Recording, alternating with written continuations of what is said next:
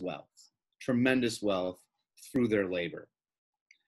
And everything from their labor, all that they had earned, all that they had made, went to people who owned them. So, what we need to understand is this cumulative nature of disadvantage that we see today. It's cumulative nature of disadvantage. So, the present day racism was built on this long history of racially distributed resources and ideas that shape our view of ourselves, of others, our country.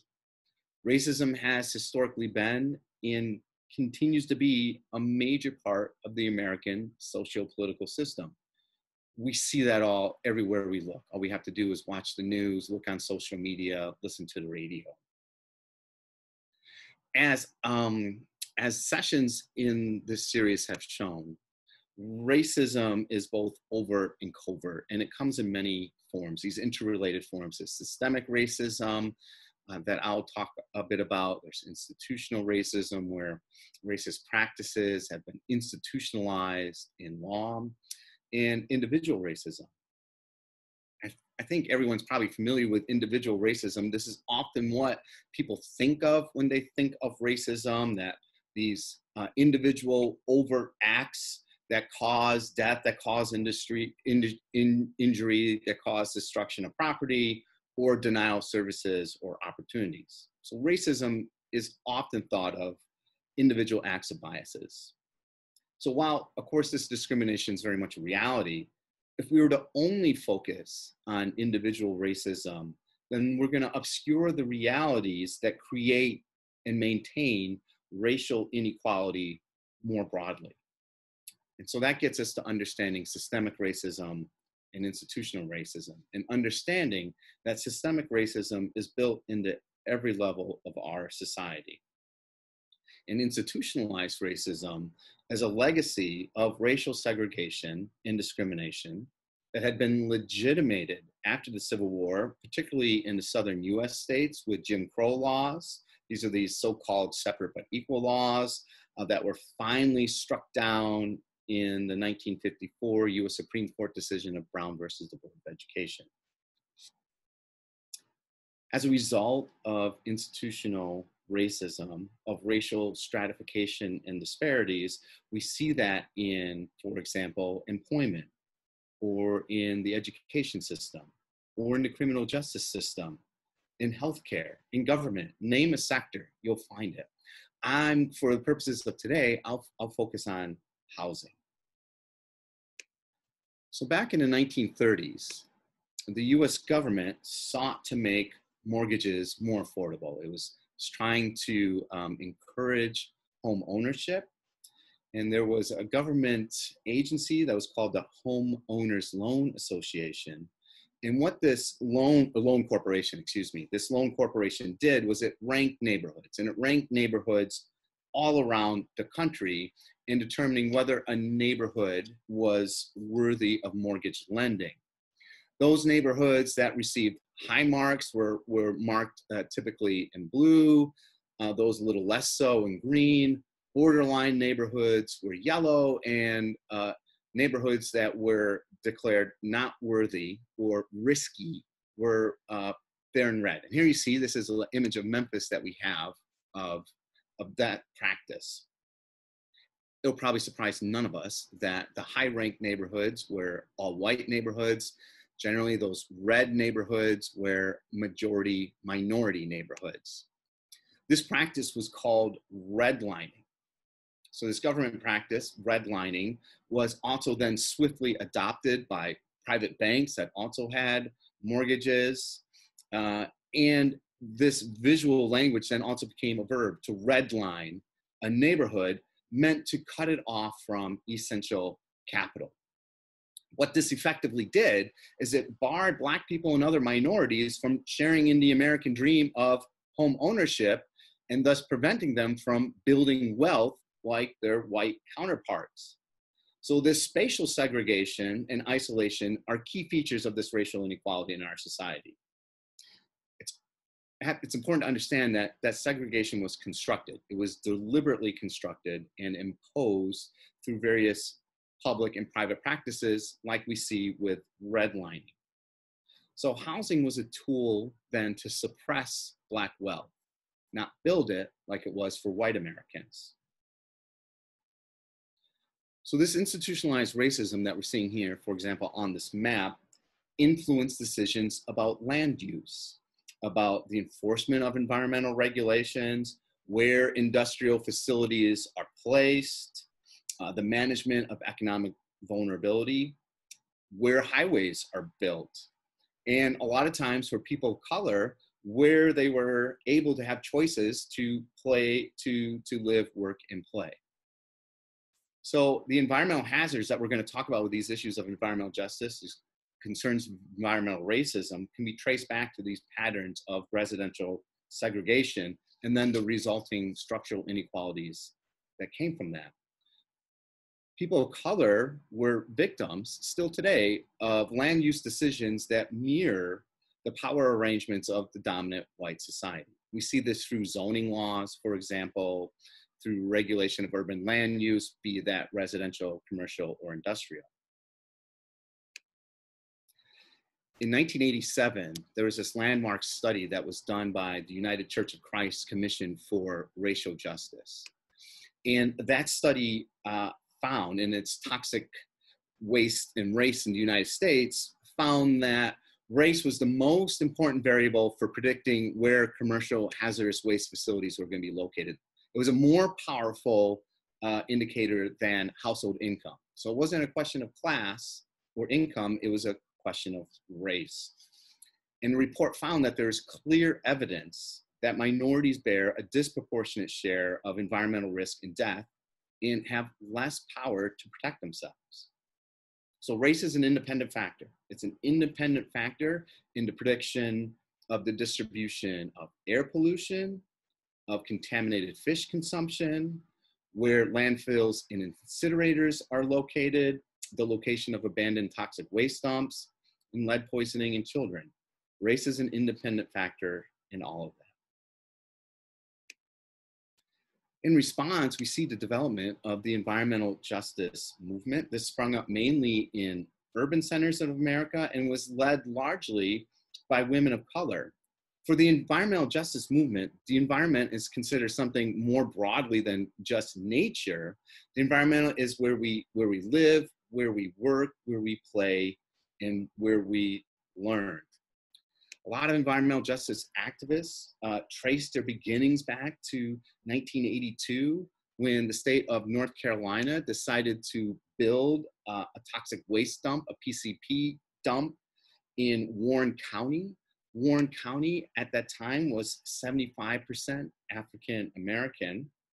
And that issue was is that the EPA allowed, oh, pardon me, allowed officials to uh, construct this dump that would be uh, only seven feet. The waste would only be seven feet above the water table. Normally, the minimum required is 50 feet. So there, of course, there was outrage. There was outrage. Some 16,000 residents organized marches and protests. This was led largely by church leaders. They lost the battle. The state opened a dump. Chemicals have been leaching into the soil, but their actions did help spark the environmental justice movement in the US. Academics have been uh, behind this movement, gathering data, uh, showing that yes, indeed, there is such a thing as environmental racism. Dr. Robert Bullard is one of the leading academics in this. His groundbreaking book, uh, Dumping in Dixie, talked about race, class, and environmental quality.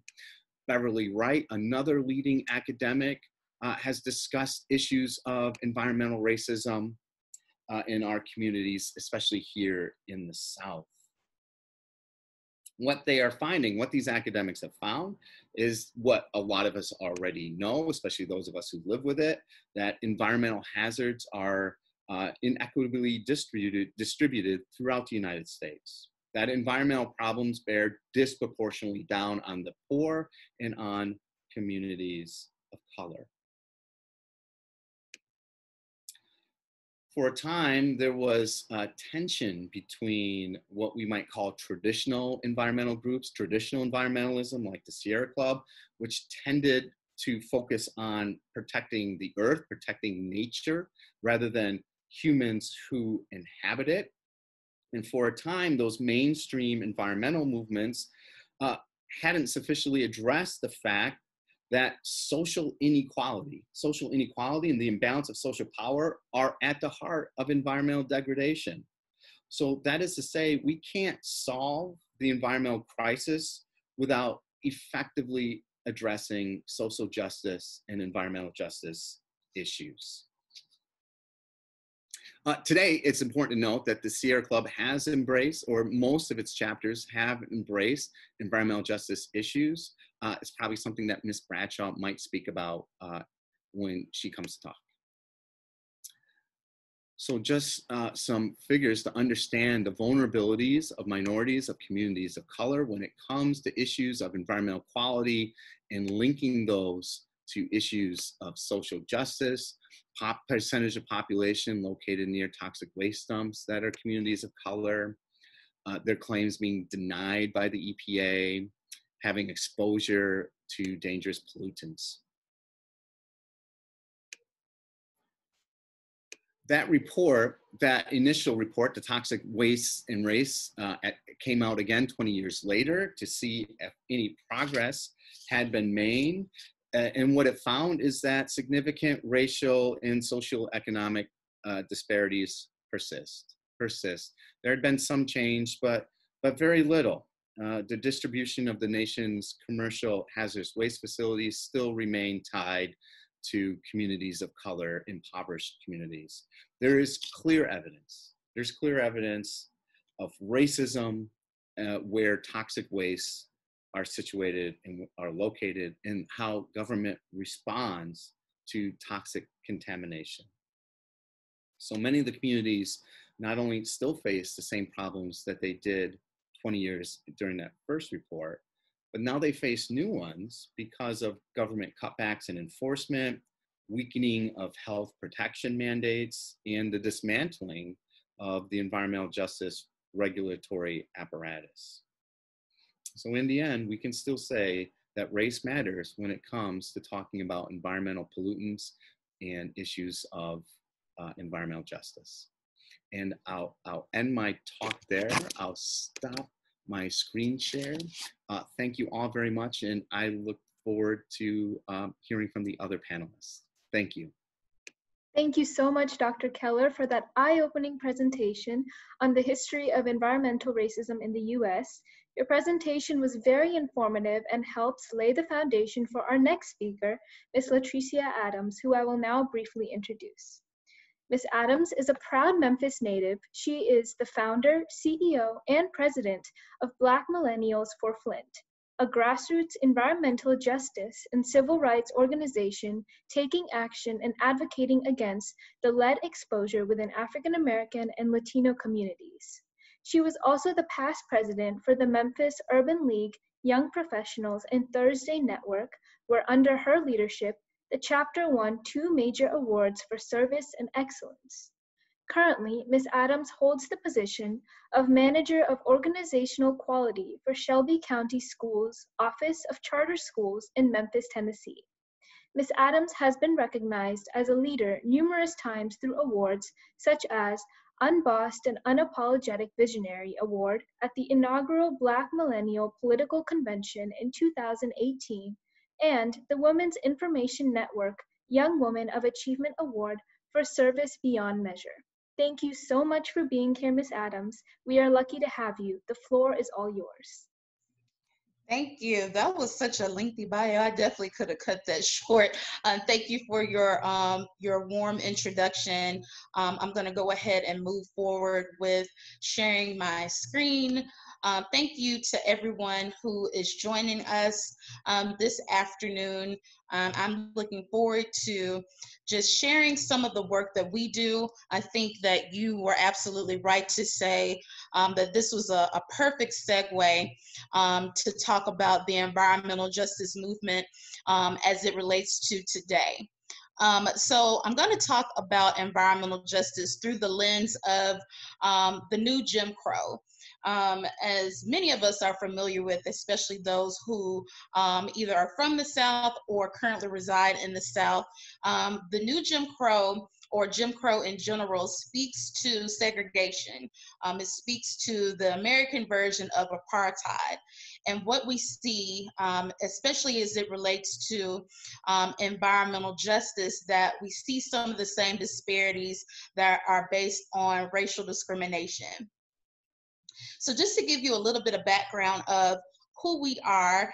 Um, so Black Millennials for Flint was birthed um, from the Flint water crisis. Um, it actually was established from a small group, just three women, three Black women um, who was angry um, and very frustrated with what was taking place in Flint, but not just in Flint, Michigan, but in cities and, and states um, across the across the country. Um, so we are a fairly new um, and, and young, um, pun intended, organization um, that solely focuses on environmental justice with a specific interest in the eradication of lead. Um, we have four key cities that we work with, and you'll notice a recurring theme. So we work with Baltimore, Maryland, um, in our namesake, Flint, Michigan, Memphis, Tennessee, as well as Washington, D.C. Those four cities mark some key issues around environmental justice, specifically as it relates to lead. That varies from lead in water as well as lead based paint and housing. So today I'm going to focus on three things. We're going to um, focus and narrow in on the national lead crisis, and then speak a little bit about climate racism, and then end with some opportunities for hope. I always like to end with um, a call to action, um, just to engage everyone that this is our democracy and we do have power together collectively to create a world that we, we wish to see. So, first, just framing how lead shows up in our environment. While oftentimes, even within the environmental justice realm, we focus a lot on water, um, lead and water, as well as lead and housing, which typically comes from lead based paint. But there are other mechanisms in which you see lead manifest. So the first one is in soil, and then also in consumer products. So when I say consumer products, that includes a lot of um, times imported goods. So that can be, for example, cheap toys that you may see at a dollar store. When you talk about uh, racial discrimination and systemic oppression, just think in your mind, where do you frequently see those discount dollar stores? So oftentimes with toys, um, they're extremely detrimental to small children, being that children oftentimes put things in their mouths. You also see lead sometimes in imported items, consumer products with ceramics. Um, so that can be bowls, it can be mugs. Oftentimes, um, it comes from lead based paint that are used on those items. Just a quick fact about lead in particular lead helps paint and colors pop, it makes color very vibrant. And then another common item where you see lead present um, is in beauty products. So, beauty products such as eyeliners, mascara, lipsticks, um, in some instances do have um, traces of lead which is of course very dangerous um, as it relates to contact with humans with people. And um, unlike things that you see with housing and water and even with soil regulations as it relates to consumer products are in some instances non-existent especially when you think about items that are imported into the country. They are not met with the same level of scrutiny um, because they're not domestic. So shifting gears a little bit um, I want to talk about climate apartheid. I used that phrase or that word a little bit earlier.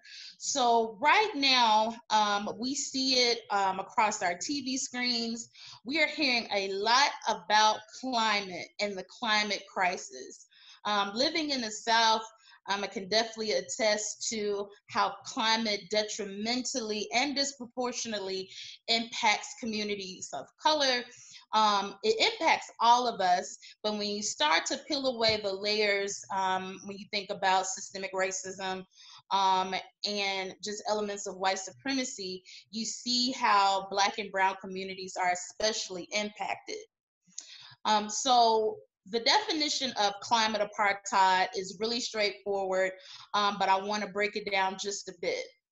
So, for example, um, as we start to see things, and this ties into the other definition of climate gentrification, we see historically black and brown neighborhoods no longer being black and brown anymore. Um, so we see gentrification here in Memphis. We see gentrification in DC, which was once um, dearingly, endearingly called Chocolate City, which is now um, from a a, a, humorous perspective, but also a little bit sad, where it's now called Mocha City because of all of the gentrification that has occurred within the last 15 years or so. As it relates to climate apartheid and climate gentrification, essentially those people who are more affluent, um, people who um, have participated in white flight, move to areas where they are not as directly impacted by issues surrounding climate. Now, again, I mentioned that climate impacts all of us, but when you think about the after effects of climate, for example, Hurricane Katrina and many of the other hurricanes that have come after that time that have wreaked havoc um, in urban um, cities, which we know are typically inhabited by Black and Brown people people who have affluence and have financial economic access move into areas where they're not directly impacted. Now, here is the caveat. What people have found over time, specifically with developers, is that some of the areas that were historically Black and Brown neighborhoods oftentimes um, are not as directly impacted by climate issues such as um, extreme weather. And so that's where you start to see spikes in property values where people are actually um, forced out of communities that they helped to build for generations. Um, so when we talk about climate and just environmental justice issues in general, I liked um, how the doctor that preceded me talked about not just the focus on restoration and saving the earth for earth's sake, but saving it because we want to make sure that the people who live in it are actually able to live abundantly and healthily. So when you tie in issues surrounding climate, paired to the current issues surrounding COVID 19, it, for lack of better words, and it sounds a bit morbid, is a death wish. Um, where when you even think about the fundamentals of how we're having to navigate through life um, with extreme heat, especially in the South, we're also starting to see heat waves in areas of the country that are not accustomed to such extreme heat, um, having to wear masks thinking about same types of environmental justice issues that impact air pollution and has caused asthma, whether it be adult asthma or childhood asthma, making it really difficult to just simply breathe. Um, so when we talk about environmental justice, um, it's really important that we talk about the people and not necessarily just focus on the, the concepts that are associated with it um, but making sure that there's a clear understanding of how um, racism plays a huge role in the way in which we operate in all forms of life, and that includes the way that we live and share the planet. The next thing that I want to touch on, and it does include aspects of climate, is the impact of climate and Black maternal health. So, a bit earlier this month, New York Times released a pretty devastating article that talked about the connection between climate change and pregnancy risks, particularly as it relates to African American women. So, within this study, it found that out of all women examined, um, including those of other minority groups, Black women were the most detrimentally impacted.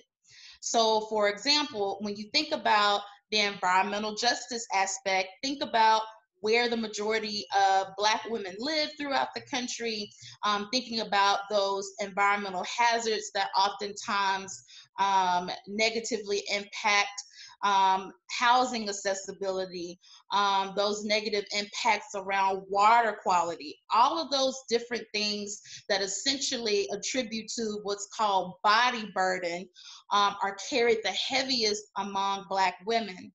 And so, in addition to there being societal injustices as it relates to the treatment of Black women, as it relates to maternal health and reproductive health, you're now talking about climate issues impacting Black motherhood. You're also talking about water quality impacting Black motherhood, exposure to lead. Um, you're also talking about air pollution making it hard to breathe. Taking it a step further, in our current time, um, with the civil unrest that's occurring within the city, where you have Black women um, and, of course, allies as well who are on the front lines marching and protesting for equity and criminal justice reform. You now talk about in some instances in some cities where people are using tear gas and other things to torment crowds that also exacerbate um, health issues that are pervasive to everyone, but particular to um, Black women, those who are with child, or those who are planning um, to, to have a family. So it's really important important, if I don't have anything else for folks to take away, is to understand how elements of racism and white supremacy coalesce and create these systems of oppression that makes it really difficult to um, break those barriers apart. The last part that I want to um, end with is there are aspects of hope. Um, oftentimes, when we talk about environmental justice issues, especially as it relates to environmental racism, it's a really sensitive topic. Um, and personally, as, as a Black woman, it oftentimes can become very exhausting um, to be directly impacted by those injustices, but then also um, taking leadership and accountability for my community to ensure that we are forever striving for equity and just a better world for all of us to exist, regardless of race, um, ethnicity, culture, creed, so on and so on. So part of the work that Black Millennials for Flint does, in addition to providing educational awareness, where our focus is specifically on um, the Black and Brown community, we also work very strategically hand in hand with our allies. We also work directly with legislators. It's very important for Black and Brown people to have access to the table um, with decision makers. So opportunities for advocacy um, whether you are whether if you are a person of color or if you're an ally is to make sure that there is space and representation as it involves um, engagement with local state and federal elected officials but then taking it a step further with working collaboratively to ensure that even when progressive bills are passed um, that there are systems of accountability and oversight that's representative of the community um, so I'll give you a quick example of some work that we've done here um, in Memphis and Shelby County. Um, I am actually the inaugural chair for what's called the Shelby County Lead Prevention and Sustainability Commission, which was established in tandem with um, Mayor Lee Harris, the mayor of Shelby County. And with this particular commission, it's community-based and it provides oversight and accountability of our state mandated lead prevention program, which tests for lead and water in schools. There's one thing to make sure that you get bills passed, but the second layer is to make sure that those policies are implemented with fidelity. So you talk about ways to um, break down these systems of oppression and really create change, it will again take all of us to work collaboratively from a place of advocacy. And then I'll leave with this because I, definitely want to make sure that I am respectful to our time as we have an additional speaker.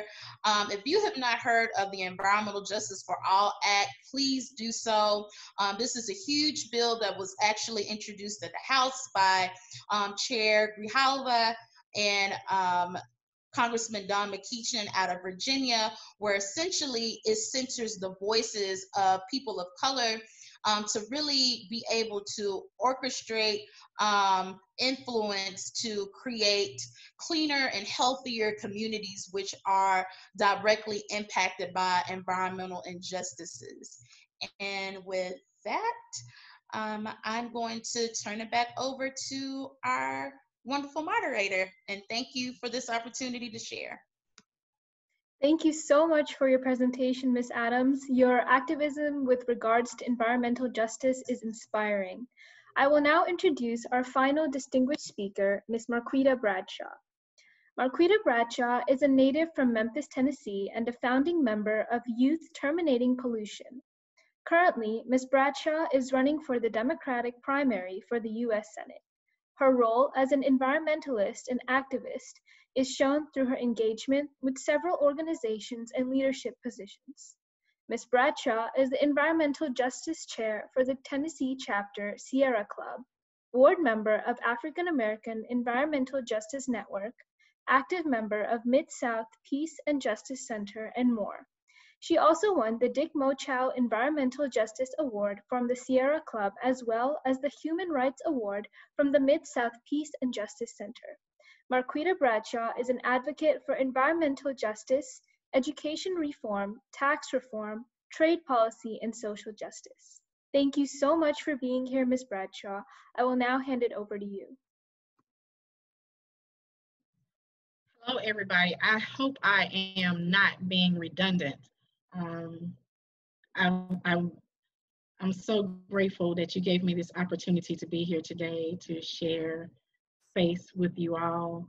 Um, LaTricea hit on some very important things about what it means to be a Black woman, to live the issues, and also uh, interacting with agencies that affect our lives daily on what how we receive uh, environmental policy, labor policy, whether it be tax policy, but everything that interacts with our lives. And as Black women, we experience those things differently with our children and our mates. So I am going to be probably a little redundant uh, because I wanted to focus on, and please let me know when I'm, I've made time. Let me make, let me figure out how to share this screen. Oh, Jesus. We, uh, big share screen. And we're gonna go here.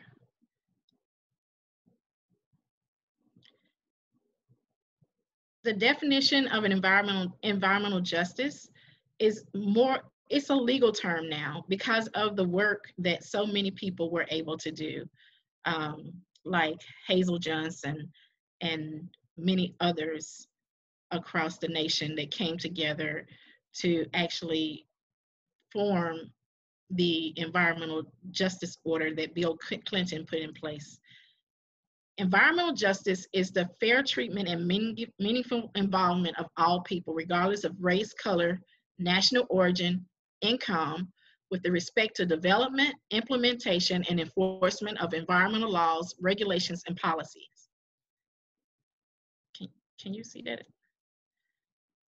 everything's okay. Meaningful, meaningful involvement means that people have an opportunity to participate in decisions about activities that may affect their environment and or health. The public's contribution can influence the regulatory agency's decisions. Community concerns will be considered in the decision-making process. Decision makers will seek out and facilitate the involvement of those potential affected. And people have self-determination about their community, the types of industries that come into their communities when it comes to their health.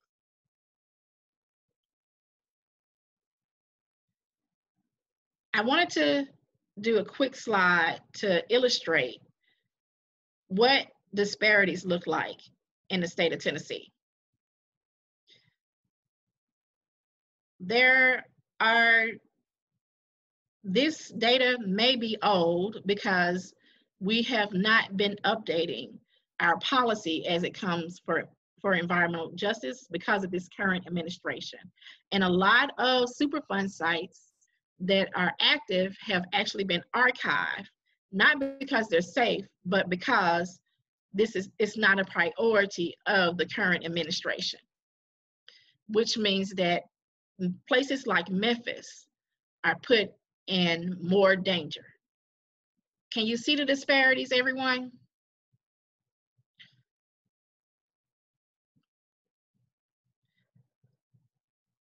Now,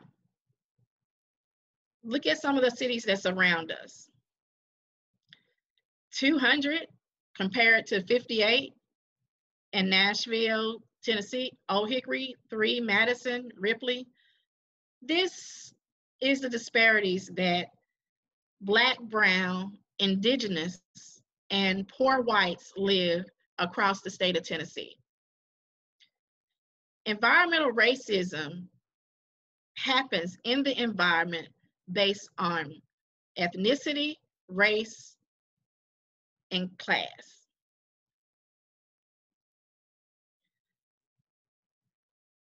These are some of the things that people worked on.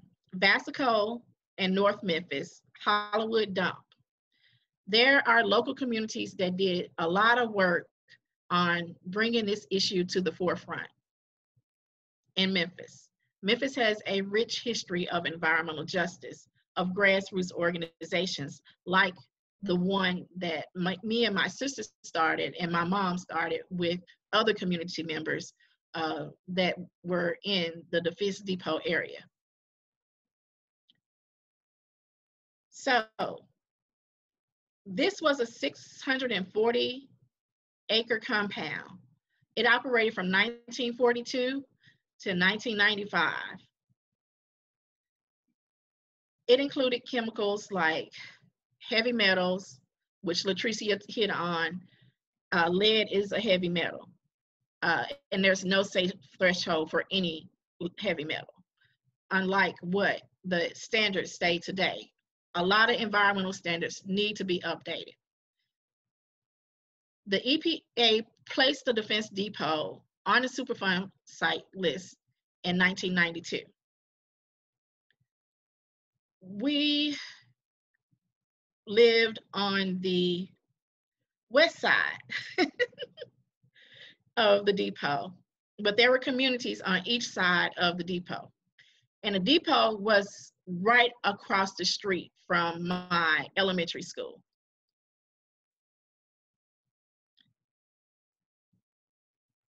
My mom was a PTA president where she actually received a notice in the mail and she actually took it to the PTA meeting and she was designated to bring back a report on whether or not what was going on at the depot. When she brought back the report, the PTA president was like, look, we need to set up another meeting uh, so we can really deeply discuss this outside of the PTA. That meeting had over 500 people attend from our neighborhood in South Memphis when it's hard to get 40 people to show up to an event in Memphis. It was 500 people. And that day she was elected the president and they started the organization DDMT CCC. I didn't get involved until I saw what the chemicals were doing to the reproductive system of children 13, 14, 15, 16, 17, 18, uterine, ovarian, testicular, and prostate cancer. I was a young mom in 1995 and I was experiencing poverty too. But I thought it was unacceptable that because of where I lived, the chemicals not only could affect my body, but be mutagenic, where it affects my son, his children, his children's children, if they can even have children after a while. That's called gentrification.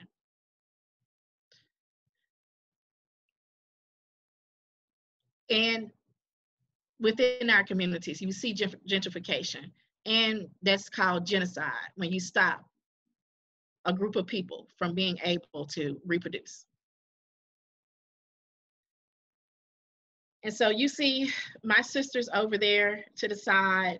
Uh, the way we were able to do our work is that we made alliances with Black, Brown, Indigenous, and people from around the world who were experiencing the same type of pollution, not just military pollution, but pollution, period.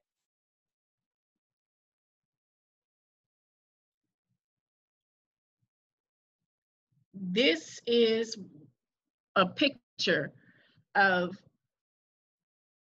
the surface runoff from the Defense Depot. You can see the water going down into the this is Crane, Cane Creek. It actually surf, resurfaced right here, goes back up under the ground um, because there's a watershed with with um, groundwater system that's right up under the depot with all those chemicals and everything. And so we were in a meeting with governmental officials who said that it was the pollution of the community that was actually going up the hill and and um, contaminating the defense depot and that they were not contaminating us. And so we took this picture one day when it was raining. And you can see the water is not going against science up the hill. This is where Cane Creek resurfaces and actually goes under the high school, Hamilton High School in South Memphis children have actually been evacuated from the school because they were experiencing health problems. And some have had to go to the hospital in the past. So what type of chem what type of pollution is actually there? Biological chemical warfare, radioactive contamination, weaponized viruses. So we lived every day once we became aware of what was down the street in a state of how we are living now in a pandemic. With us being that close proximity to weaponized viruses, we always wondered what would happen if to our community if one of those viruses got loose. The pandemic is not a weaponized virus, but it shows us that our community is even more vulnerable when it comes to a pandemic because we have the pre-existing conditions of poverty and pollution and you add racism in the mix, and our communities die at a higher rate, even during COVID 19. Some of the first deaths of COVID were people who had once lived in our community, who have moved away, and still they are being subject to more death than others.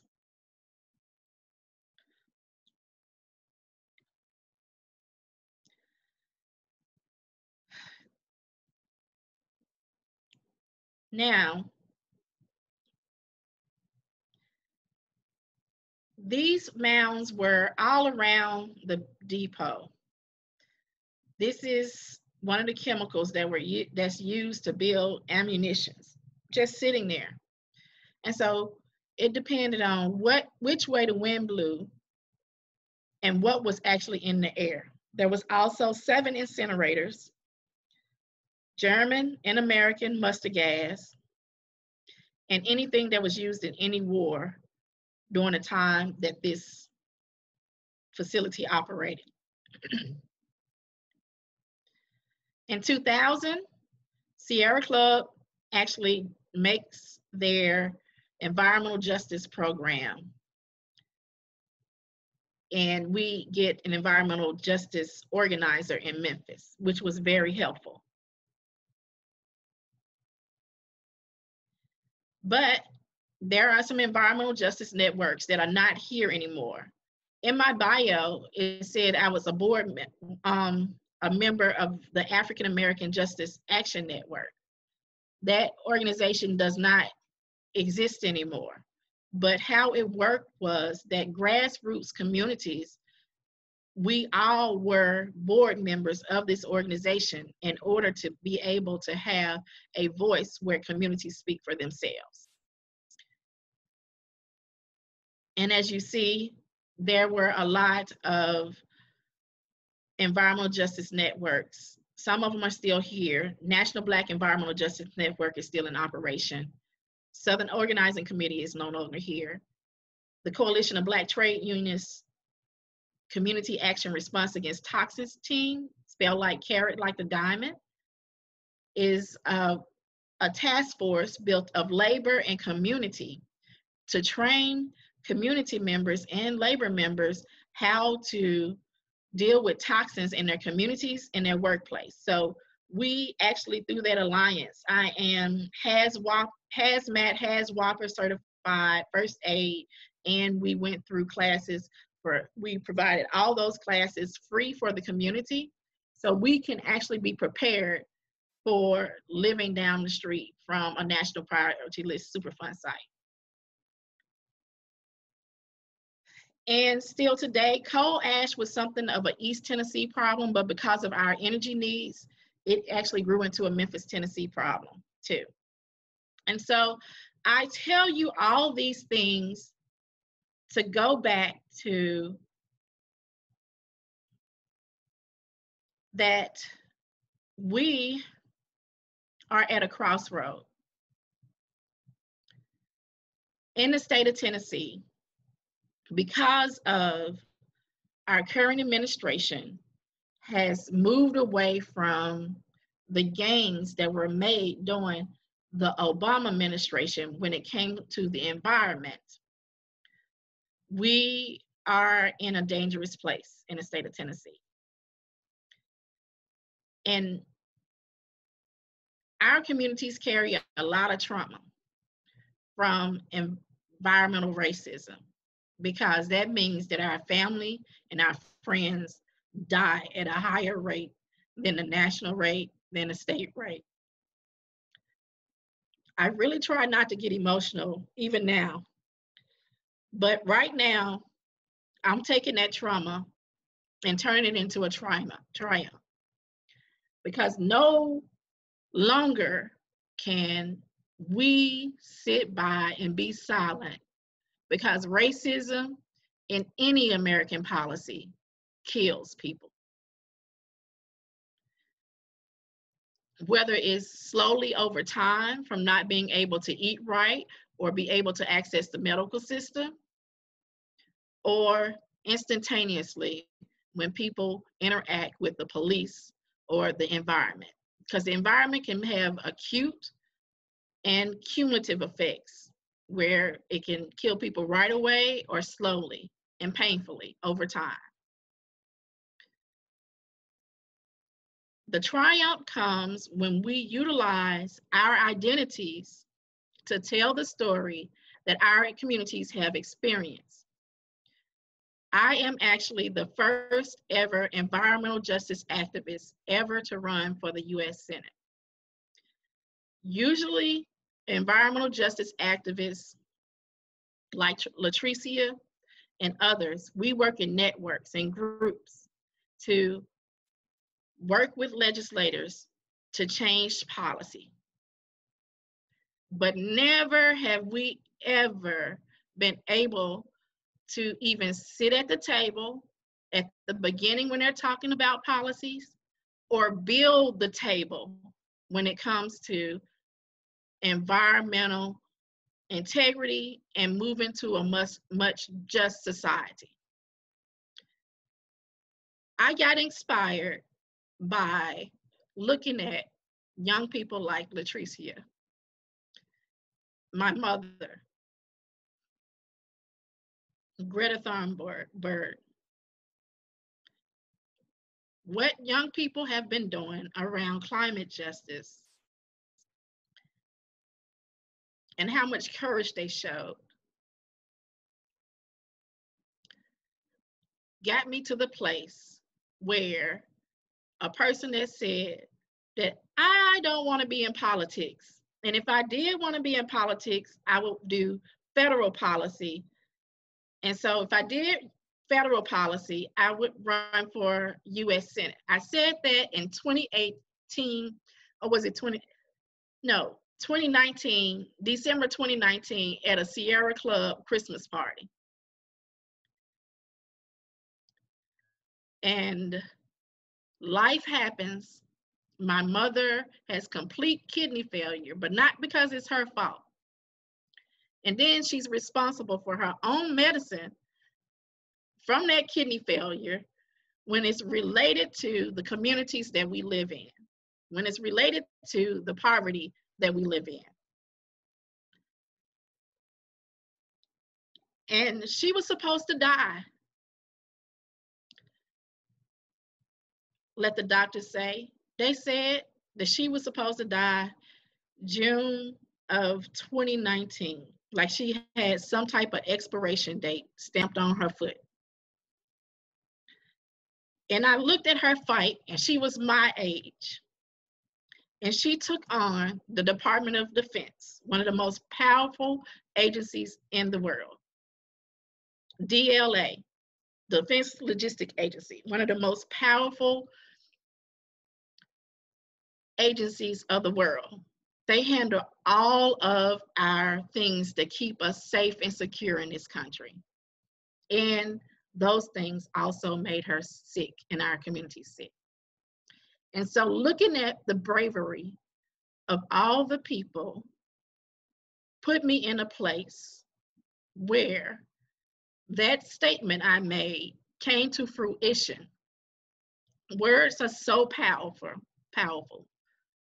And what you do today determines what type of legacy we have in our future.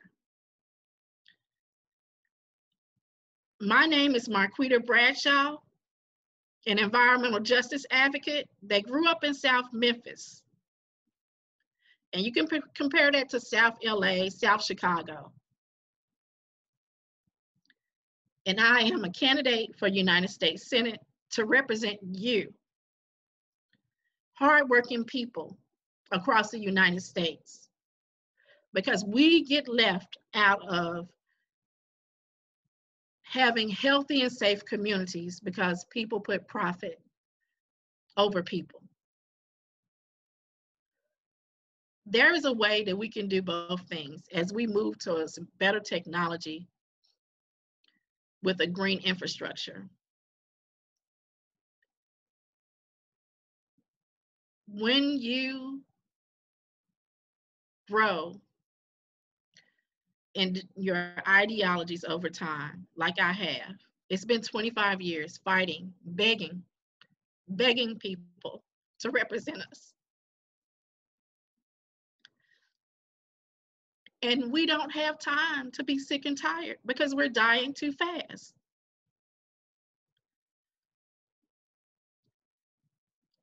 People have told our stories for us in so many books, they have talked for us. And it's time for us to have a direct line to reflect the issues that we are facing. None of the other candidates were even talking about social justice issues, let alone environmental issues. I was the first one that signed a Green New Deal. The others followed. And now because we've been driving the issues of this race. They're trying to interweave social justice issues from the lens of attorneys. And attorneys are great, and we have a lot of them at the US Senate level. And we also need an environmental justice advocate at the US Senate level. thank you for my for your time. You can go to my website. Let me show it. marquitabradshaw.com. Thank you for inviting me. And that's the end of the presentation. Thank you so much, Ms. Bradshaw, not only for your incredible presentation, but for your hard work and, and vulnerability and for sharing your personal story and your family's history and for your contribution to the community. It's people like you that inspire true change, and we're truly grateful for you. Um, so at this time, I would like to open up the floor to questions.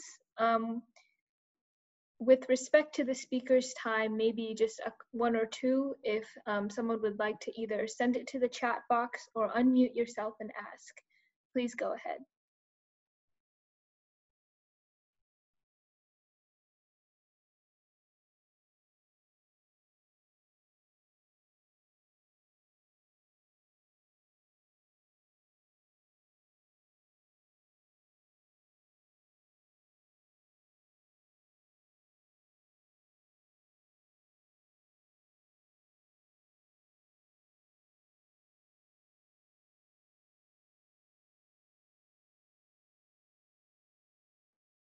Okay, um, I think the presentation was so great. No one has any questions.